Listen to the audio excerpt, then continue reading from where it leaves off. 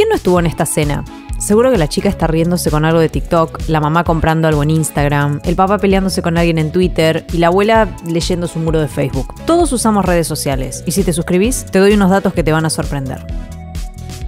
Si entramos a Twitter podemos ver que hay muchísima gente, el mundo está ahí, pero no todo el mundo. En Estados Unidos solamente el 22% de la gente tiene Twitter y el 10% de ese 22, o sea, el 2,2%, genera el 92% de los tweets. En Argentina hay 5.410.000 usuarios, es alrededor del 10% de la población del país. ¿Qué significa todo esto? Que Twitter impacta un montón y nos importa muchísimo. Pero está bueno recordar que no son más que las opiniones de un porcentaje chico de personas.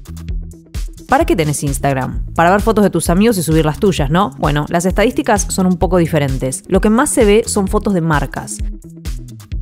Todo el tiempo se están lanzando nuevas apps, pero cada tanto hay una que se convierte en un fenómeno. TikTok es súper popular hoy, pero hace cuatro años no existía. Y aunque parezca imposible, hay varios sitios que fueron súper populares y luego perdieron relevancia, como Fotolog, MySpace, Tumblr. Preguntale a quien haya nacido en los 90, eran los más importantes del planeta, y después un día ya no.